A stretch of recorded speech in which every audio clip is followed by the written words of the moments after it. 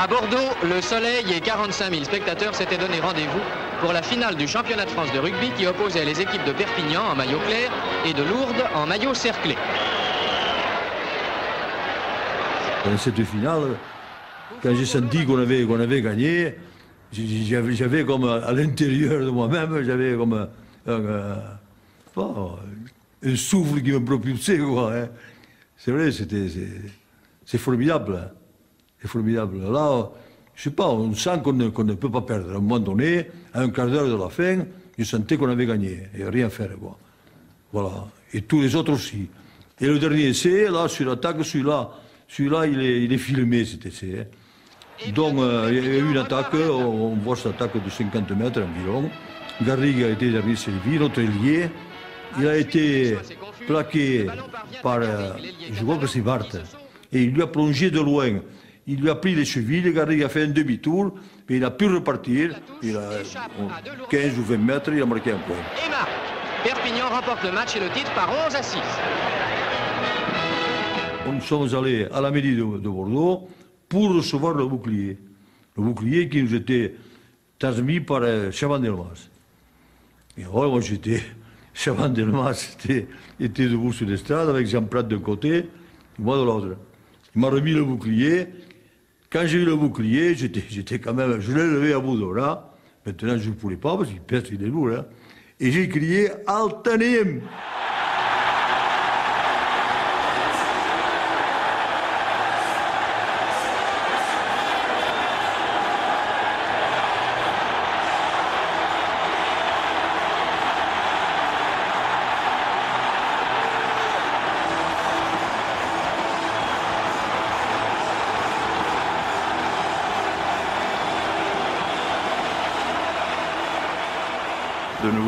sur l'histoire. 54 ans qu'on n'avait pas eu. Le dernier capitaine, c'était André Sanac. Pour ma part, voilà, c'est, moi, j'étais son successeur. Bon, c'est vrai, c'est une grosse fierté pour moi. Euh, à la fois euh, heureux, euh, plein d'émotions. Tu penses à quand tu étais jeune, à, tout ce qui est, cher pour toi. Et voilà. Je pense qu'on avait gagné autre chose que bouclier. C'était ben, déjà euh, la revendication de, la catalanité. Il y avait, euh, je sais pas, peut-être le fait d'avoir cette identité, peut-être sa jeune rugby. euh, jusqu'à cette finale, personne ne, ne nous prenait au sérieux.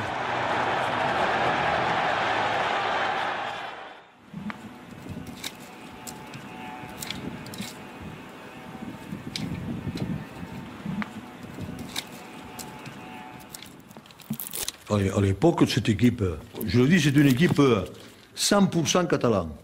Il n'y a pas un, un Audois, rien. Tous catalans, hein. toute l'équipe. hein. Peut-être on nous a fait croire qu'on était plus fort que les autres. hein. C'est vrai. Et moi, je l'avais entendu de Vaquet, quand tu es catalan, à Llori. À Llori, une fois, il a dit, quand on est catalan, qu'on a 20 ans, on doit tout renverser sur son passage. Et Llori faisait, oui, oui. Ça, c'est sûr qu'on n'était pas fait comme, euh, comme, comme des Auvergnats. Et on jouait contre la SM où il y avait euh, Valex, des Georges. Valex, il chaussait 48, euh, comme ça. Les frères des Georges, c'était des types 120 kilos. Mais ces types, ils esquintaient le terrain quand ils pouvaient. c'est ça. Euh, on ne mesure pas à 2 mètres, on ne pèse pas 110 kilos, mais ce qu'on a ici, hein, ça ne se mesure pas non plus. hein. Donc ça, on peut l'avoir. hein. Et il faut l'avoir. Voilà. Voilà, c'était notre, notre leitmotiv, là. On s'en tenait là. Ils étaient au départ une trentaine ou presque, décidés à tracer une sublime fresque. Vaillants combattants et valeureux et si fiers, ils voulaient ressembler à nos héros d'hier. Pour toute arme, un losange sifflé placé du cœur, qu'il donnait l'espérance et la foi et l'honneur. Vieille écusson dorée, venue du fond des âges, aux quatre barres de sang, symbole du courage. Je continue on était français, mais on était d'abord catalans. Voilà. Mais à l'époque, eh, tots parlaven català al, al terreny. I jo, sobre el terreny, els hi parlava per francès, eh? J'essayais de leur faire comprendre que nous étions une particularité. c'est difficile à dire, mais c'était surtout pour faire ressortir que nous n'étions pas comme les autres. Que nous avions quelque chose de plus. Les racines. Et, ça marchait, je le prenais au cœur. Ça marchait. Ah, quand il rentrait sur le terrain, hein, j'ai la gorge prise pour en parler. Il pleurait la plupart du temps.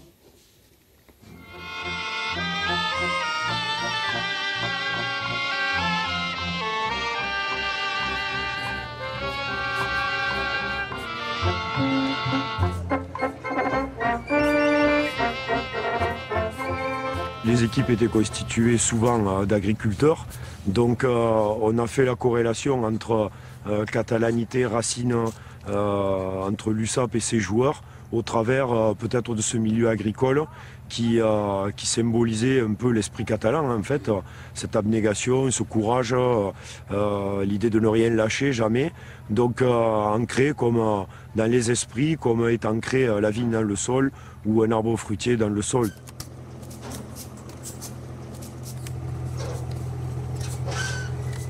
Des fois, un joueur qui, était laboureur, chez lui, moi je l'étais, hein, comme tous, les autres, il n'y a pas beaucoup, de fonctionnaires, euh, se faisait rembourser la journée, la journée du cheval. Parce que dans, les villages, là, il y en avait qui n'avaient pas de, chevaux pour labourer, donc il se faisait aider par un voisin, et il payait la journée. Là, ça, La Catalogne a été bien fournisseuse de bons joueurs. Hein. C'est vrai, c'était un, jeu qui nous plaisait aux Catalans, qui convenait au, tempérament catalan. Dans les bras de Sagolski, contre-attaque aussitôt, puis passe à Serre. Ma façon de jouer à la catalane, jouer au ballon, faire circuler le ballon et courir. Et là, on jouait au rugby et ils se régalaient, ces garçons. L'émotion grandit dans le stade. Car on avait ce qu'on appelait la sanquette. Son maître du ballon.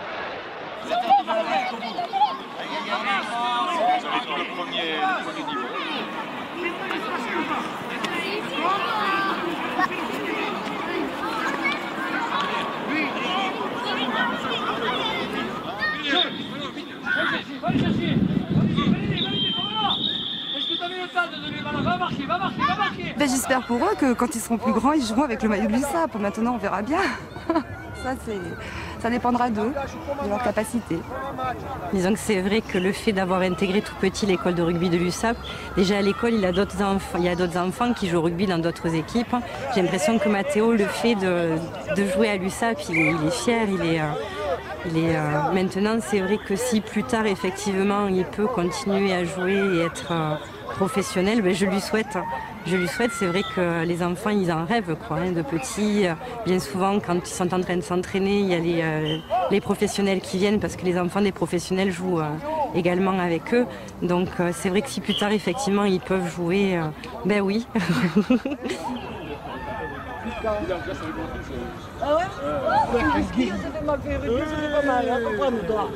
Quand je mets le maillot de l'USAP, euh, je, me sens en transe. C'est quelque chose, il, faut le vivre pour le comprendre. Il, faut, il faut le mettre, il faut s'échauffer dans un vestiaire. Il faut, vraiment, on entre dans une autre dimension. Quoi.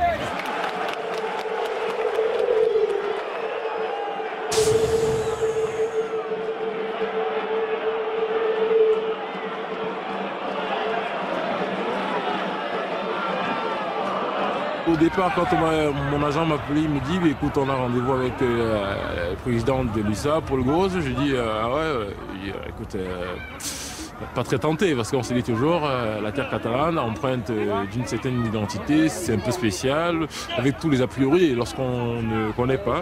Mais dans l'équipe ça s'est fait de suite, euh, j'ai trouvé des mecs sympathiques, vraiment bonne franquette, bonjour, bonsoir, comment tu vas, où est-ce que tu manges, qu'est-ce que tu fais, vraiment la manière la plus terre à terre qui soit quoi, sans protocole, sans.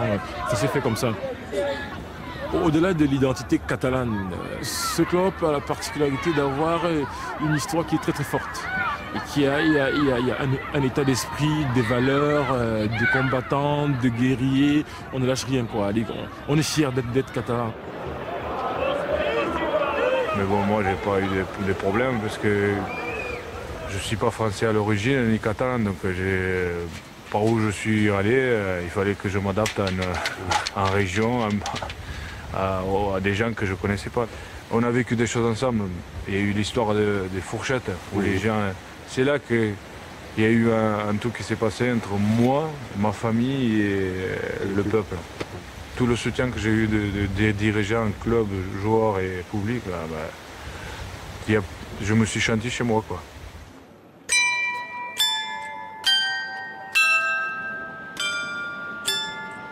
Al est bonique. Euh, ça veut dire euh, c'est un, pays magnifique, euh, Catalogne. Pour ma intégration, en début, c'était vraiment dur. En 84, c'était quand j'arrive au vestiaire, par exemple, tous les avants de l'USAP ils sont écartés, ils n'acceptent pas les étrangers parce que pour eux c'est le premier. Moi j'étais le premier étranger en France aussi. Et c'était tellement. C'était difficile pour moi. Jusqu'au 2 décembre, pour le premier match de, l'USAP en première division, j'ai fait un, à peu près un bon match contre Toulon, ils étaient contents. Et après, plus, en plus, c'était plus facile la catalanité, où elle est ouverte ou elle n'existe pas. Hein? Ici, plus de la moitié des gens du département qui vivent dans ce département sont nés ailleurs. La catalanité, où elle sait les accueillir et les intégrer, ou elle disparaîtra. C'est aussi simple que ça. On ne peut pas être catalaniste et sectaire. Et l'USAP joue un rôle intégrateur absolument considérable. Merci. Bonjour. Si on regarde, par exemple, le stade Mégiral lorsqu'il est plein, euh, on, a là une icône parfaite de, la société civile catalane, avec des Catalans de souche, des Catalans d'adoption, toutes les, catégories sociales qui sont représentées, c'est l'image parfaite. Et donc, on a là la préfiguration de ce que pourrait être euh, une Catalogne, non pas, non réunifiée, mais unifiée autour de, des valeurs qui, sont, partagées et qui, par, par tous les gens qui, qui sont catalans au sens euh, d'une communauté de destin, c'est-à-dire qui ont lié leur sort personnel au sort de ce territoire. Les appareils photo, je ne sais rien faire. Il faut quand même observer que euh, l'USAP, de, tous les clubs de, rugby, est le seul dont les couleurs sont aussi les couleurs d'une nation. Eh, euh, Mathieu, prends-la bien, hein, quand même. Ah ouais, je ah ouais, fait partie de la Bronca 2003. C'est un club de supporters catalans qui est très très fan, euh, où on fait nos propres vestes, nos propres écharpes et on est très supporters de l'USAP. Ça c'est moi qui l'ai fait. J'avais confectionné ça pour la finale, ça nous a porté chance. Alors le numéro 6, 786 à voter. Voilà ton écharpe, les amis de l'USAP. Ah oui, moi j'ai eu à la réunion. Oui, je me suis souvent interrogé sur qu'est-ce que l'identité catalane à l'intérieur du club et pourquoi euh, euh, on avait cette foule de gens qui nous suivent et qui revendiquent leur identité. Et être catalan, c'est pas forcément avoir un père et une mère catalane, mais c'est être accepté un peu de, de, de, partager la culture catalane. Moi, c'est mon sentiment. On vit à l'heure de l'USAP, on est, c'est quand l'USAP perd, la semaine est, est catastrophique dans le, dans le département. Euh, ça soutient les malades, ça soutient. Euh, euh, bon, on en rit quelquefois, mais on s'habille USAP, on mange USAP, on vit USAP. c'est frappant, quoi. C'est frappant, c'est la seule chose qui fédère les gens ici.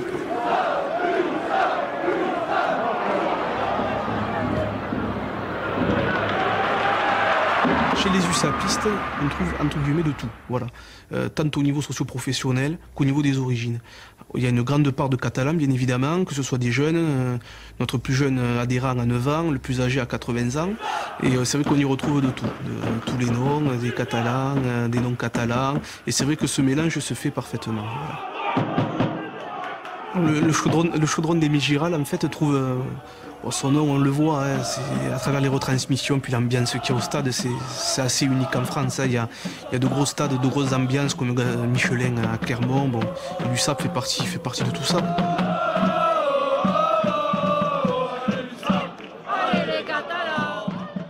on est un peuple fier, arrogant, et donc très versatile. Il n'y a qu'à voir les, les, soirs de défaite sur le forum de l'USAP. Hein. Ça tombe de tous les côtés, les joueurs en, plein, en prennent pour leur grade, les dirigeants aussi. Donc c'est vrai qu'on est, on est vraiment chauvin.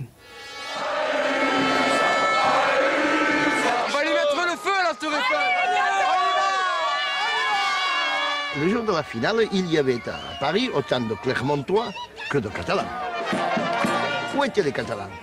30 000 Catalans au pied de, de, de, la Tour Eiffel, au Champ de Mars, en train de festoyer ensemble. Ça, ça dénote quelque chose, ça. Ça, ça dénote l'envie d'être ensemble, qu'on est un club. Et en ce sens, on est différent.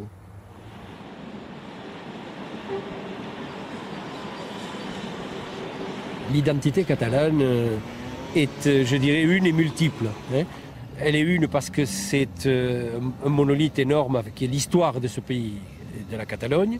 Et elle est multiple parce que la société catalane, aujourd'hui, en pleine évolution, manifeste tout un tas d'activités qui vont du folklore à, le, au militantisme.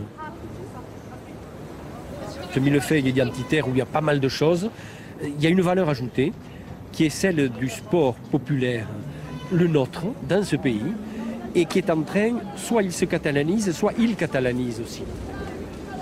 Donc aujourd'hui, si euh, les Catalans, dans la, la, société catalane, cherchent des héros certainement, euh, parce que le, moment est favorable.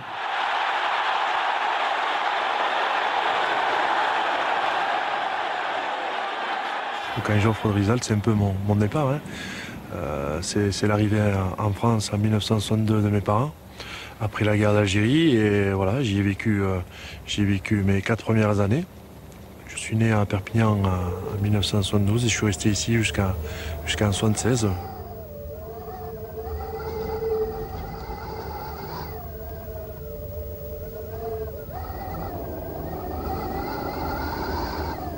C'est surtout cette terre, cette terre aride, un peu, un peu, un peu rouge. J'ai que ces souvenirs de, mon enfance et, et, un peu de, détresse et de tristesse dans les, dans, les visages de, mes parents déjà. Et par rapport à la communauté Arki, on voit que voilà, il y, en a, beaucoup qui sont au chômage, il y en a beaucoup qui sont dépressifs, il y a, il y a eu énormément de suicides. Et, euh, la dernière fois, j'ai fait un reportage ici avec avec un ancien harki notamment qui est toujours vivant. Et il disait euh, le plus dur ça n'a pas été la guerre. Ça a été le, le retour en France et, et, cet accueil quoi. Ça a été c'est ce qui a été le plus dur mais bon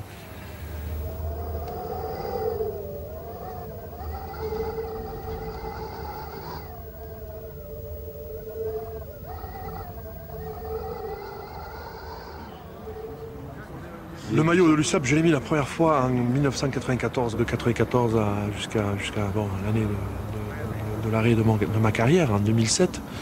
J'ai pas quitté, pas quitté l'USAP. Euh, on m'a inculqué aussi ces valeurs de, de fierté, de, bravoure, de, solidarité, d'abnégation, toutes ces valeurs qui font partie de, la culture catalane, notamment euh, dans le combat. Et je me sens, je me sens euh, par entière français, je me sens aussi euh, euh catalan, euh, pas d'adoption, je dirais euh, catalan tout court. La tribune à mon nom, c'est vrai qu'au début j'ai voulu, j'ai refusé. J'ai refusé, mais on m'a dit que ça se refusait pas et et, euh, et, surtout, à la mémoire de mes parents, je veux que cette tribune maintenant, euh, reste. Voilà, quoi.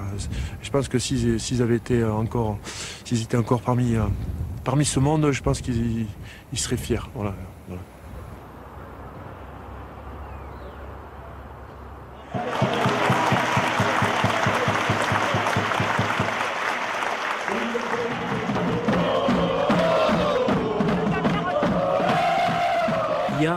De manière très claire un, phénomène USAP. Euh, en, imitant le, slogan euh, appliqué au, Barça, on a dit que l'USAP c'était més qu'un club, et effectivement c'est beaucoup plus qu'un club.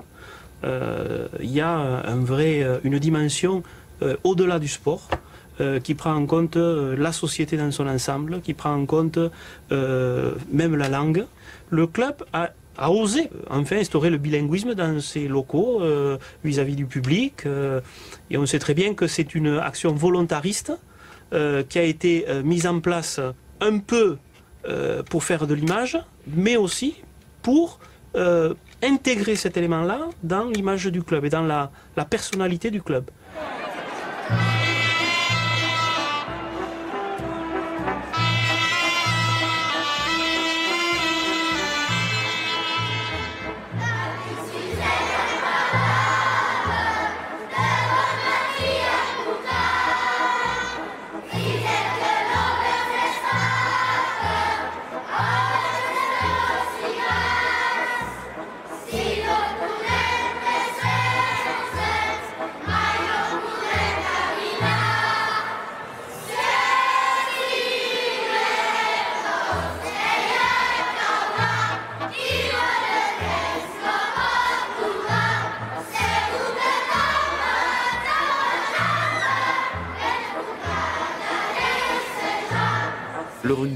Le rugby catalan permet de mettre en avant les sardanes, de mettre en avant euh, euh, les stacks qu'on a joué au Stade de France. Quoi. Je veux dire, les ça a été euh, craché dans les sonos du Stade de France à un moment donné.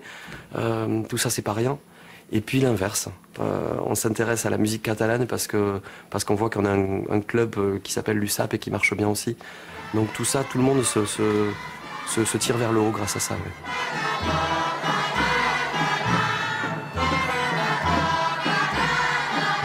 Le stack, hein, c'est la traduction, c'est un pieu qui représente la dictature franquiste.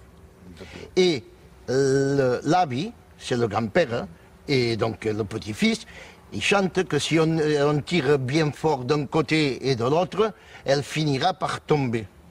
Et euh, l'idée de l'estac à l'USAP, c'est Techido.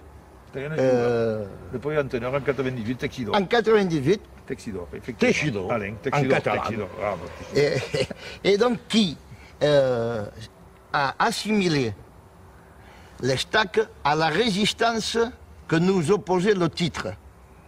Et ce titre, 55 ans, on l'a entendu. Donc il a- alors donc, il a repris le symbole, le titre qui nous résiste, mais si on tire bien, il finira par revenir.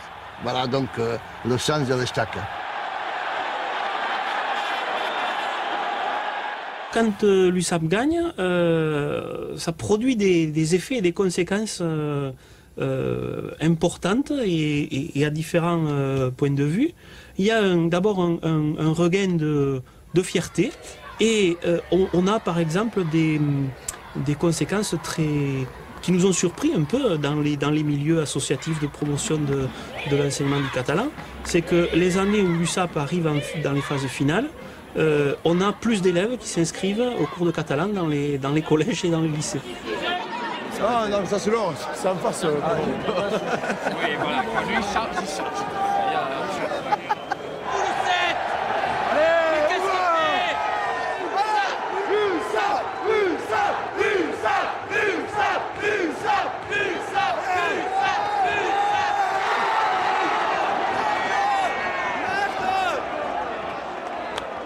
S'est retrouvé il y a peu de temps avec Fabrice et, alors qu'on a toujours été euh, enfin, dans, nos jeunesses soit rivaux sur des terrains, soit euh, ensemble lors de sélections.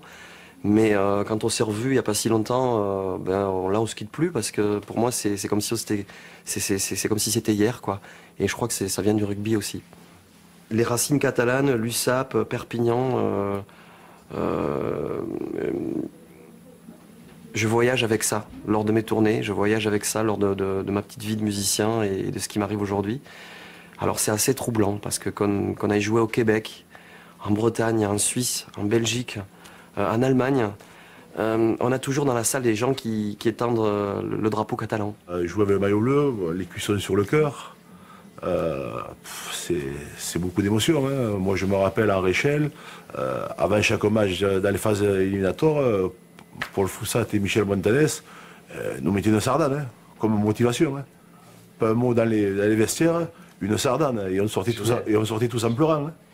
à la finale, l'autre jour, euh, à la fin du match, il y a- il y, a un vieux qui m'a tapé sur l'épaule. Euh, il pleurait et il, il m'a sorti un pourrou comme ça et il m'a dit il y a un muscat euh, que je garde là, qui est là depuis 55 ans. C'était la dernière victoire.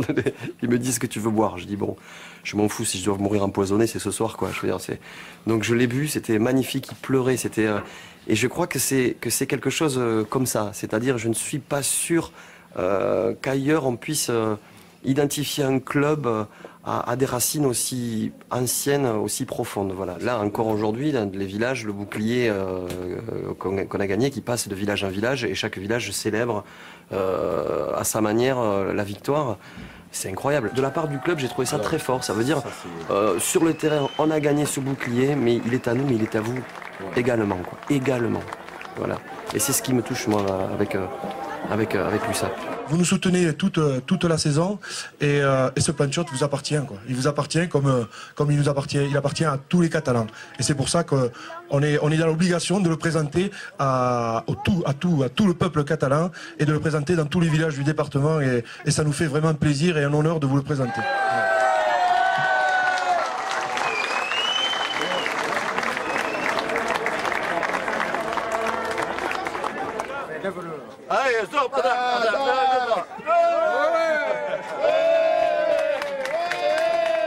L'impact de la, de- du succès, de la victoire, a été euh, retransmis par les, par les médias d'une manière qui a dépassé le cadre strictement sportif. Il y a toujours eu la présence de la dimension euh, patriotique, nationale, de peuple catalan.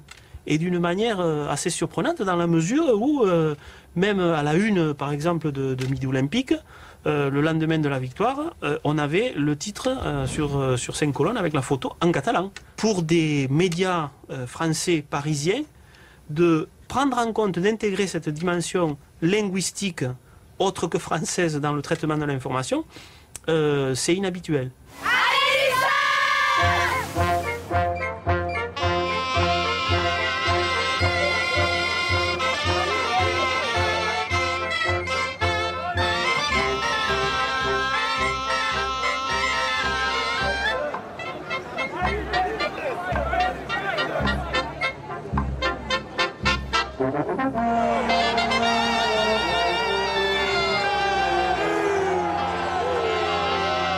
Qu'il y avait une certaine peur de la part des équipes d'en face.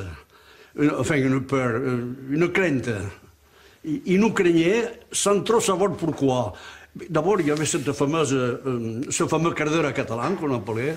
On, était perdus, euh, quelquefois, on, savait. Et puis, pouf, ça pétait de partout, on attaquait sans, trop de, de, de- de conditions préparées. Ça venait. Et, là, on battait beaucoup d'équipes comme ça. J'ai connu ça à l'USAP où, euh, ben, où Aimé Giral était euh, chauffé à blanc et euh, où on se transcendait, on lâchait tout. C'est vrai que souvent ça faisait mal parce qu'une équipe où les 15 joueurs sont sur le même tempo, sur le même diapason à fond, en face c'est assez impressionnant. Donc souvent les équipes lâchaient mentalement et là c'était c'était une déferlante. C'était un gros quart d'heure catalan. Beaucoup arrivaient déjà, nos adversaires arrivaient déjà battus quelque part, en disant on va charger, on va souffrir. Bon, c'était à l'époque du rugby amateur aussi, puisqu'on a la chance de connaître les deux rugby, où on va dire certains artifices, certaines armes, euh, armes euh, ne sont plus autorisées aujourd'hui, c'est tant mieux, mais c'est vrai qu'à l'époque, ben, on en usait, on en abusait, on jouait un petit peu cette, réputation. Généralement, le catalan, on dit qu'il est têtu, qu'on est têtu. Et ça se retrouve aussi sur le terrain, c'est-à-dire qu'on n'accepte pas la défaite, qu'on veut lutter jusqu'au bout. Et, et souvent, quand on est mené au score et quand euh, on, a, on, a, on a envie de se sublimer pour, pour rattraper ce score, on est très très bon on va retrouver des ressources internes et mentales dans ce dernier quart d'heure puisqu'il faut remonter et que peut-être là on joue encore plus euh, dans un jeu débridé et, à tout va. J'ai rarement senti, comme, dans, euh, comme à Aimé Giral, euh, cette, cette capacité que peut avoir une, équipe à, se transcender en étant portée par un public et à être capable à... Parce que quand ils sont comme ça, ils sont capables de, pratiquer un rugby de rêve. Ils sont capables de battre n'importe quelle équipe. Ben, à notre époque, je ne sais pas si on peut trop, euh, si on peut trop le dire euh, devant une caméra, mais je crois que le premier quart d'heure, il fallait faire sentir à l'adversaire que à Perpignan, euh, ça allait être difficile euh, de gagner et que s'ils gagnaient, il fallait vraiment qu'ils se vendent de la peau pour le faire. Donc je crois que sur le coup d'envoi, je crois que la messe était dite déjà. Quand c'est difficile, là, on, joue au dur, Euh, on joue tout à la main. Dans la carte catalane, c'est l'envie de gagner et c'est là où on va gagner. C'est le, le moment de, fort le rugby catalan. Le moment où tout le monde est sous les coudes, tout le monde a mis la tête en bas et c'est un combat derrière, partout, juste pour gagner le match. C'est dans l'esprit, hein, c'est de tout jeune, on nous, on nous inculque que euh, on a un caractère chez nous, hein. on n'est pas grand normalement, les Catalans on n'est pas très grand, mais on est très très très vaillant. Et on lâche rien. hein. Et le d'heure catalan c'est ça, c'est 15, 15 mecs qui ont décidé que la personne ne va passer, que s'il faut les marquer, c'est c'est maintenant qu'on va les mettre, et qu'on va tout faire pour ça. Et moi, la définition du quart d'heure catalan, c'est plutôt ça. Et bon, après, quand on est plutôt perdant, le dernier quart le quart d'heure catalan, c'est ah, c'est plutôt les soupes de phalange, quoi. hein. Ça, c'est plutôt les soupes de phalange. Voilà. On s'est dit, bon, on va, on, on s'est dit, on, on va, on va perdre, mais je pense que le tour d'après, ils risquent pas d'aller loin, les mecs.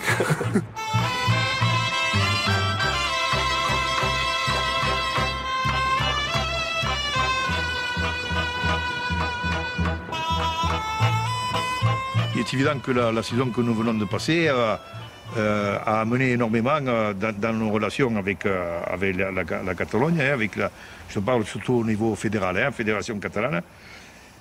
D'où l'intérêt d'ailleurs de la fédération catalane. Et il faut savoir quand même que dans tout, enfin pas dans tous les coins, mais dans, une quinzaine de coins de Barcelone, il y avait des écrans géants qui ont montré quand même, qui ont, montré la, finale de, de, de l'USAP à, à Paris, ce qui effectivement nous a quand même beaucoup aidé dans la, disons, dans, dans- dans la notoriété de, de, de, de- de l'USAP. hein. Estan fent un equip, el poble, un poble del costat doncs som nosaltres, estan fent un equip de rugbi i ja comencen a entrenar, ara, bueno, a l'estiu, aquest estiu ha començat. que és un joc noble tant entre els jugadors com entre els aficionats i això és una cosa que, en, que ens agrada molt i que potser distingeix una mica el rugbi del futbol. Bueno, a la Catalunya del Sud es diu que la USAP és el Barça del Nord. Sud, de la nord, nord.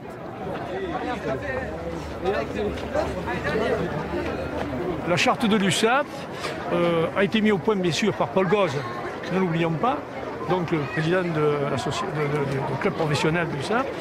Elle, euh, elle, euh, signifie essentiellement une ouverture sur l'ensemble des clubs du département, Catalogne d'Or donc, et aussi une 13 clubs de Catalogne Sud. C'est une ouverture indispensable pour créer un lien entre tous les jeunes donc, euh, euh, du département et de la Catalogne Sud derrière l'USAP. Euh, le regard vers la Catalogne Sud porte à la fois sur des finalités sportives, mais également sur des finalités économiques, parce que l'USAP ne peut pas être ignorant du bassin socio-économique qui s'ouvre à lui à 200 km de ses portes. L'USAP qui est, euh, comme tous les clubs professionnels, en recherche de, partenaires et de sponsors, euh, compte par la politique justement d'intérêt euh, qu'elle porte au rugby et donc par le retour de, de- de joueurs qui pourraient intégrer le club et l'aide qu'elle apporte au rugby catalan, faire que des partenaires euh, s'investissent dans, notre club USAP, en partant du principe que bon, la Catalogne euh, serait re- représentée en rugby par, par l'USAP comme elle est représentée en foot par le, le Barça.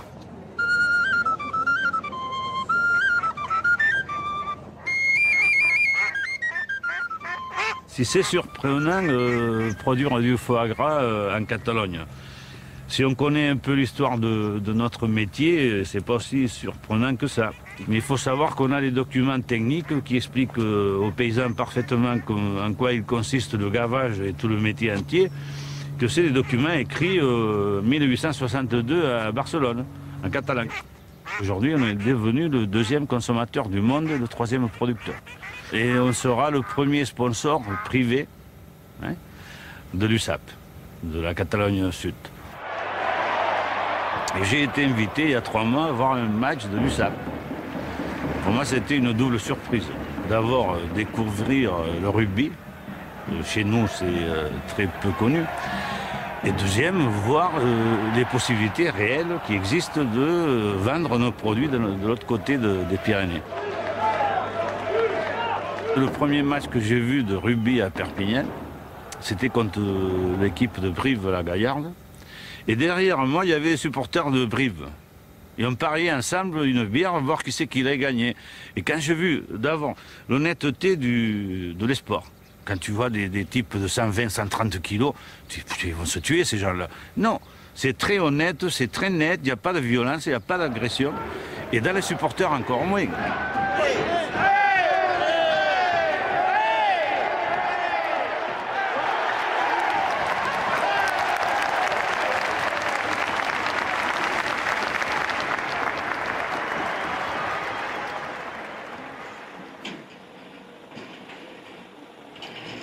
Llicenciats esportius eh, de rugbi a Catalunya. Eh, enguany, aquesta temporada, arribarem als 4.000 i eh, igualment arribarem als 40 clubs. Els mitjans del que compta el rugbi català són més aviat modestos i això per dos factors que són complementaris. Eh, la tradició esportiva de Catalunya és altíssima, per tant la competència entre esports és molt alta i després, en aquests moments concrets, per una tradició molt del nostre país en què el finançament de les entitats esportives no prové de les administracions, sinó que provenen de la pròpia iniciativa i de la seva vinculació amb les empreses privades.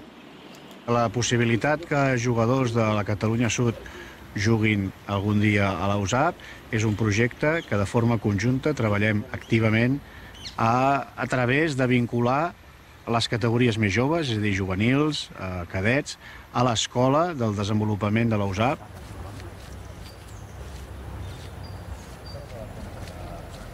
Le rugby sud-catalan, il est, comme beaucoup de pays, rempli de, plein de talents. Il y a plein de talents. Je pense qu'il y a un problème d'équipement, je pense qu'il y a un problème de structure.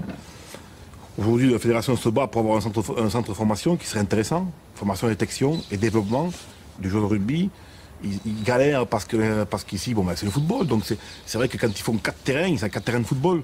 On a eu un gamin qui s'appelle euh, Hector, qui, est, qui joue 9-10, qui est un gamin exceptionnel, qui devrait passer les tests à, l'USAP pour, voir un peu si nous, on, nous, on dit qu'il est bon. Maintenant, il faut évaluer à, à, à notre niveau. Nous, à côté, c'est l'USAP. Donc, on va aller voir l'USAP, centre de formation, voir si ce gamin a un profil qui puisse correspondre à un de leurs profils à eux de haut niveau. On, en est là, on en est là aujourd'hui. Avoir des gamins, on a un pilier aussi qui est exceptionnel. Nous, nous pensons qu'il est bon, il faut l'évaluer, parce qu'il peut être bon ici en junior, mais est-ce qu'il sera bon euh, dans les critères de, qui sont en France? On ne sait pas. Mais on y arrive, il y a des mecs qui sont motivés, il y a des joueurs. On, a peut sur, sur le Catalan, on a, on a peut-être 10-12 joueurs motivés. Ça, on va pas les lâcher. On va pas les lâcher. Et ce sera peut-être ces 10-12 qui porteront le rugby catalan euh, à un bon niveau. Si demain on réussit à faire un rugby mixte, sud et nord, et que les meilleurs talents finissent à l'USAP, alors ça c'est le paradis. C'est rêvé. C'est rêvé. Aujourd'hui, quand, on- voit, quand on voit la démarche pour recruter, qui d'après moi n'est pas justifiée, d'aller chercher des joueurs à l'hémisphère sud alors qu'on les a pas un chez nous, qu'il faut les récupérer et les former, aujourd'hui je me dis pourquoi on irait chercher un néo-zélandais et pourquoi pas un catalan?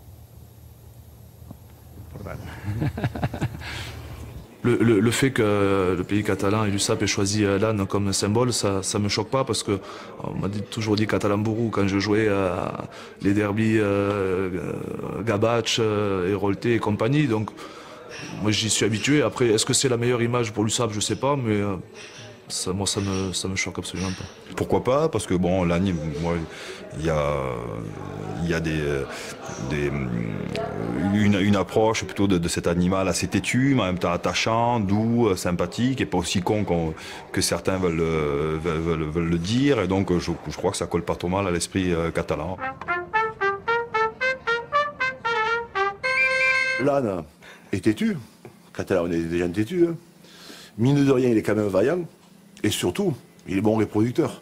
Dans les Catalans, n'est pas prêt de mourir. hein. Donc je pense que la bonne définition, elle est celle- c'est celle-là. quoi. Et, euh, et l'âne, je crois que doit boire beaucoup aussi. Hein, il a besoin de boire beaucoup, l'âne aussi, ouais. Les Catalans du Sud euh, ont choisi euh, euh, l'âne euh, par rapport au taureau madrilène. Donc euh, c'est un peu une guéguerre euh, de Catalans du Sud qui a été importée euh, en Catalogne du Nord. Donc euh, comme on se sent très proche euh, de la Catalogne du Sud, forcément on, a suivi le mouvement. Et puis on s'est rendu compte que l'âne, bien que humilié, était quelqu'un de persévérant, quelqu'un de travailleur, quelqu'un de, qui avait de, l'idée. Hein. Et, après tout, finalement, on, s'identifie avec, avec cet âne et on se dit que c'est pas un mauvais porte-drapeau, hein, l'âne catalan. Hein. ごめんね。Ens hem, hem agafat aquest símbol com un emblema doncs, pel fet que és un animal eh, autòcton per excel·lència, és un animal que es desenvolupa aquí, i després doncs, té aquestes característiques tan pròpies de la raça i dels catalans, eh, que som tossuts, que som, eh, eh, que som lents, però que anem aconseguint les coses a poc a poc, eh, amb tranquil·litat i sobretot doncs, eh, amb constància. El burro doncs, és un animal carinyós, un animal doncs, eh, que eh, té molta constància i sobretot molta reflexió. Quan no veu clar una cosa, doncs es para i costa de fer el passar el test de convèncer perquè passi. Jo crec que és un dels animals més intel·ligents que hi ha.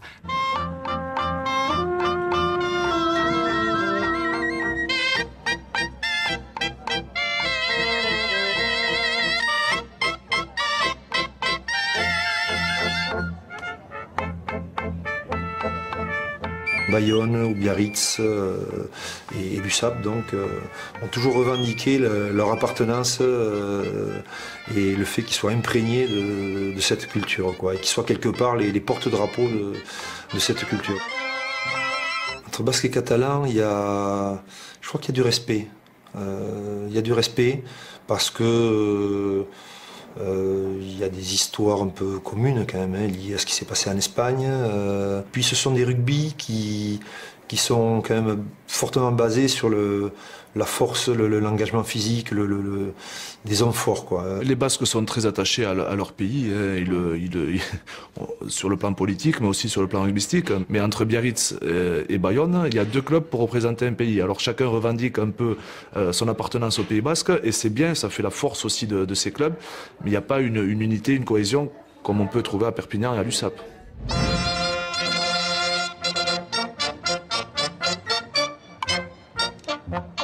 Fait 30 ans que je suis dans ce milieu, ça fait 30 ans que je joue contre l'USAP, ça fait 30 ans que c'est dur euh, de gagner contre l'USAP, que l'on perd euh, euh, souvent. Et c'est vrai qu'on a toujours vécu ces matchs avec beaucoup d'intensité, beaucoup de concentration, en sachant que contre les Catalans, il ne faut jamais s'échapper, il faut être présent dans le combat en priorité, mais ce que je trouve aujourd'hui, c'est que ce sont des Catalans qui sont toujours aussi présents dans le combat, mais qui en plus jouent euh, un rugby de qualité, avec, euh, en jouant euh, des situations avec beaucoup d'intelligence. Donc il y a quand même une, vraie évolution dans le rugby catalan à l'heure actuelle. Cette équipe a un potentiel, cette équipe repose sur, sur des, bases, des bases fortes, celles qui font qu'on peut avoir une grande équipe. C'est-à-dire, euh, d'une part, qui, a une identité forte, d'autre part, qui a euh, une, une sensibilité à combattre, c'est-à-dire parce que c'est un sport collectif de combat d'abord. Donc il y a cette aptitude. Après, il, faut que ce, combat il soit euh, clarifié, il, faut qu'il soit codifié, il faut qu'il soit maîtrisé de telle manière à ce que ça ne se retourne pas contre l'USAP. Peut-être que c'était ça, son handicap. C'est-à-dire que sa générosité devenait un handicap à un moment donné. Voilà. C'était sans doute un équilibre qu'il fallait trouver.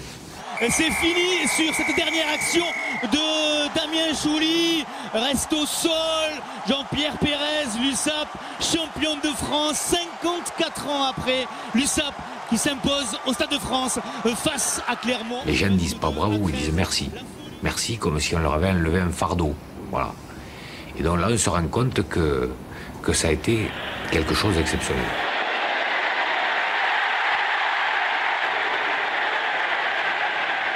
Euh, j'avais qu'une envie, c'était serrer mes coéquipiers dans les bras et prendre mes amis et ma famille. Euh. On se sent libéré et, on, baigne dans un bonheur euh, qui est vraiment très simple. Pour nous, c'était la, découverte, hein, les jeunes joueurs d'ici, Jérôme, David, Guillaume, Villaseca. C'est voilà, on ne savait pas trop ce qui, euh, ce qui, allait nous attendre. On savait que ça allait faire 50 ans qu'ils n'avaient euh, pas vu euh, ce morceau de bois. Et puis bon, là, on l'a fait avec, beaucoup de joueurs formés, on va dire, au, club ou aux alentours. Quand j'ai vu Nicolas Mass lever ce bouclier, je me suis dit, le salaud, J'en tremble encore. Il a de la chance, quoi. C'était. Ouais. C'est vrai qu'au moment du coup de sifflet final, euh, il se passe quelque chose de très fort en nous et en moi évidemment. Euh, on, est- on monte un peu euh, dans les nuages, on ne sait pas trop ce qui, ce qui se passe. Donc euh, on, voilà, on se prend dans les bras entre joueurs euh, et, puis, et puis après c'est vrai que j'ai hâte de, de retrouver mon père et de, de serrer dans mes bras et de, voilà, de, lui dire aussi euh, que, voilà, que ce titre il, est- lui appartient aussi parce que lui il a joué 13 saisons à Perpignan, qu'il a fait une finale et qu'il aurait mérité amplement de le gagner. Et on rêve, euh, on rêve, je veux dire, c'est un rêve, on rêve les yeux ouverts, on rêve les yeux ouverts. On ne sait pas si c'est vrai ou c'est pas vrai. Bon après, bien entendu, euh, quand on voit arriver euh, euh, Jérôme, bon, quand il vient me voir, euh, mais euh, bon là, on, se décontente un, peu. Et, et après, bon, bien sûr, on a terminé euh, la soirée avec, euh, avec eux, avec les joueurs et, le staff technique, et les dirigeants, et c'était superbe.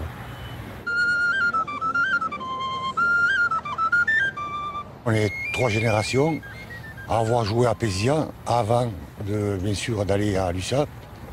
Euh, on dit les 3-15 parce que, bien entendu, le père, le grand-père, le petit-fils, on a joué euh, tous les trois à la même place, c'est-à-dire arrière. Donc c'est prédestiné, je ne sais pas si c'est génétique hein, ou pas, mais bon, en effet, euh, euh, le fait est très rare, je pense, dans le rugby français. Mais donc, euh, c'est l'histoire des 3-15. L'USAP, c'est c'est l'histoire d'une famille. hein, voilà, porter ce maillot, c'est quelque chose de fort pour nous qui sommes catalans. hein, on rêve tous de ça quand on est gamin.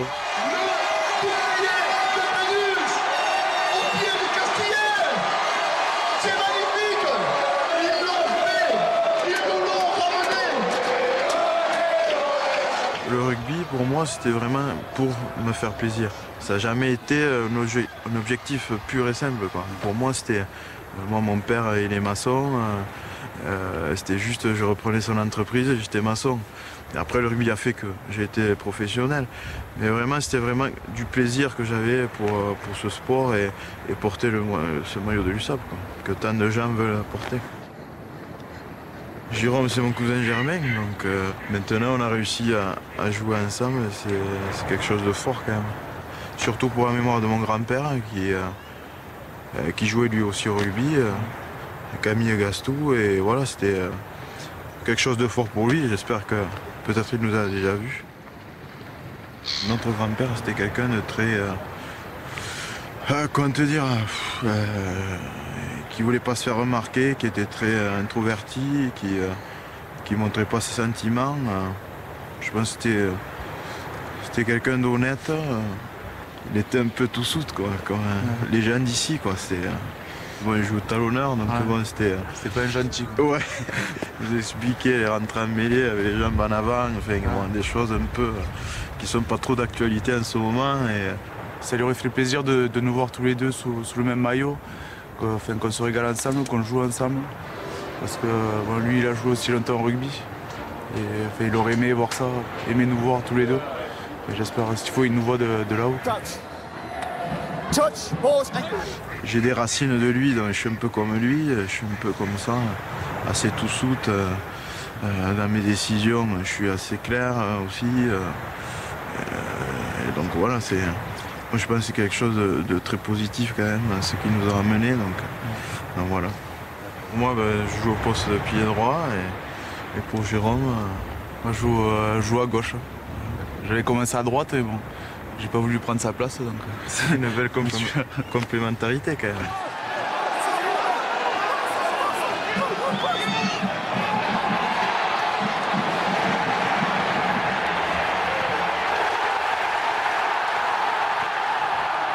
Voit certes quelques Catalans en équipe de France, euh, bah, d'abord parce que l'USAP euh, euh, joue les premiers rôles dans le championnat, donc forcément de ce collectif extrêmement fort eh émergent des, talents, des individualités extrêmement fortes.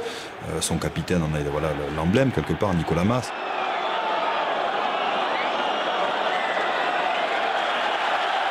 Mais le retour aussi de Zaza, Marty, de David, Marty, qui, euh, qui a reconquis sa place comme trois quarts centre, après une saison magnifique, un début de saison Tony Truant avec son compère Maxime Mermos, qui est un grand joueur talentueux. Je crois qu'on a touché une perle rare là, dans notre club euh, Fagnon. Mais voilà, et aussi il y, a- le petit de GG Porical, Jérôme, qui pointe le bout de son nez pour, euh, pour frapper à la porte de l'équipe de France. C'est une belle chose aussi.